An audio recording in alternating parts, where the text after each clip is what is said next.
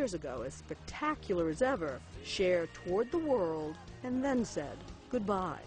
Maybe she hadn't found what she was looking for, but after four decades in public life, she swore she and the elephant were calling it quits. Then, just this past weekend, Cher invited us to her home in Malibu. She had something to say. At 61, she was coming back.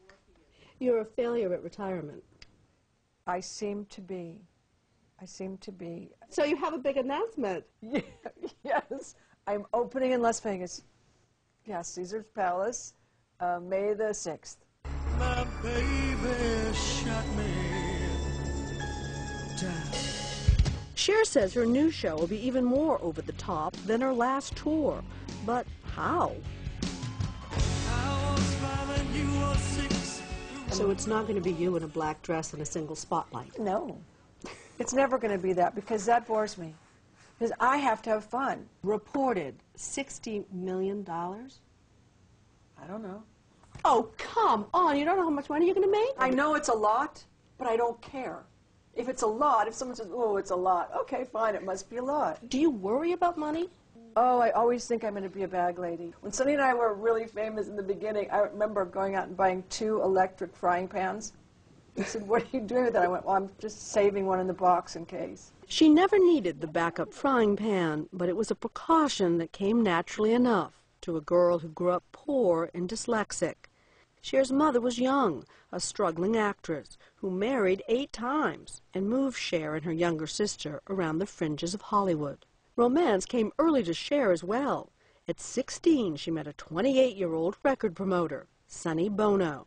The rest became history with the Sonny and Cher Comedy Hour. Sometimes when I'm down and all alone. The hits rolled out every decade. With Sonny, I Got You Babe in the 1960s. I got you, babe. Without Sonny in the 70s with songs like Half Breed. I. If I Could Turn Back Time hit big in 1989, and Believe was number one in 1998. Do you believe in life after love? The tabloids have delighted in Cher's colorful love life. She married and even had a son with wildman Gregg Allman of the Allman Brothers Band. But what about those rumors she once dated Elvis? Oh, when he called, I was just too frightened. I Too- was too- frightened to go to Las Vegas for, with him for the weekend. So you didn't do it? No. I regretted it forever. I regretted it with Marlon Brando, too. The list of not have done's are almost No. as long as the done's. Right. I mean, I think you only regret the things you didn't do. While we're on the topic, Yeah? your son said that you dated Tom Cruise in the 80s. Is that true? Yes. Was he a Scientologist in those days? No. No, he just was the most adorable man that you can possibly imagine. I don't understand the Scientology thing because I don't understand it. You know, Sonny was a Scientologist. I didn't understand that either. Anybody right now? No. Are you looking? Am I looking? Eh, they fall in your lap. You don't go looking. They just, you just stub your toe over, guys. Are you looking for something different in that department now in love and romance? No, I'm always looking for the same thing, just younger or older. You know, I'm looking for someone who can make me laugh, who I think is cute, that wants to go do stupid things still. Six years ago, Cher and I talked about the plastic surgery that she's had over the years, and while she admits she has had work done, she says it's not nearly as much as the tabloids claim. I wondered how she feels she looks now that she's in her 60s. So can you look at yourself naked in the mirror and do the assessment? Nah, I can look in the mirror and not see myself. I can make up my face, I can do all kinds of stuff, but I just really don't want to see everything. It's all, you know, it's all star filter. You know, in clothes, I think, you're a hottie, but, you know, I don't want to take my clothes off. Well, but some of the clothes you have on are Well, sort of that's like taking your clothes off. yeah, that's true. Who can but tell so the that's, difference? that's as good as it gets. You know, that's as much as I want to see. You know, you said to me once that you've never felt pretty. Is that still the case? Well, if it was like that when I was younger, what do you think now? You know, I can create the illusion of it because a lot of it comes from what's inside of you. You know, so I can do, I can do that pretty well. All right, we talked about getting older last time I was here. Yeah, well, it hasn't gotten any better. It hasn't? I You- hate getting old. What can I tell you? I'm sorry. what don't you like about it? Don't you feel smarter? No, somebody keeps asking me that. Like, don't you feel smarter? As if that would uh, offset all the other crap. I was about as smart as I was going to get at 40. Oh, come on. Do you really feel that way? You don't feel more yourself, more independent, more. You're just searching. I'm hoping. You know what? You don't seem any smarter than the last time I saw you. Never work with children, animals, or Cher.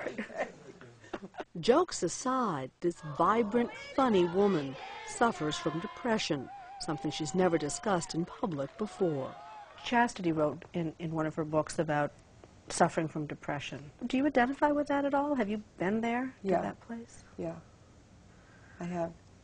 And Yeah, how I you- really have. And I thought, oh, I could make something out of my life if I never had depression.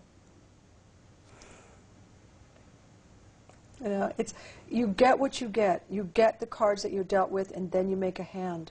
People who have never suffered from it, I think, don't understand it's not the same thing as not being happy. No. No, not being happy is a day at the beach. You know, it's it's something that you just can't explain. Work helps me a lot. I enjoy I enjoy the work. It just keeps you moving. It keeps you around people. We end on politics. So do you have a candidate?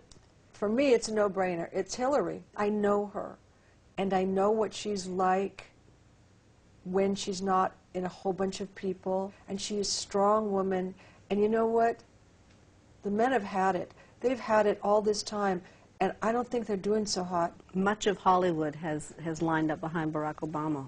You know what? I am sure he's a wonderful person, but I had dinner once with someone in the White House, the first time he was in the White House, first night of his presidency, and this man was a saint.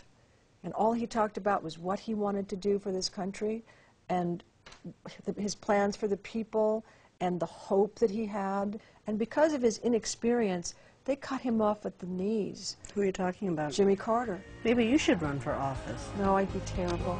Would you? Yeah, I'd be swearing and telling the truth. And besides, she's got another job come May in Vegas.